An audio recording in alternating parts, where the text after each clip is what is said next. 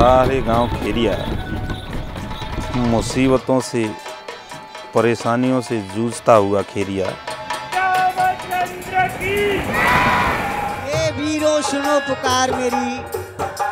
बतला दो है सुख धाम कहाँ। प्रभु दीन बंद करुणा सागर रघुवीर रमापति राम कहाँ। और राम बनने में हमें क्या मिला? इसे शब्दों के द्वारा नहीं बता सकते हम। रामलीला, मुझे ऐसे खींचती है जैसे चम्मक की तरफ़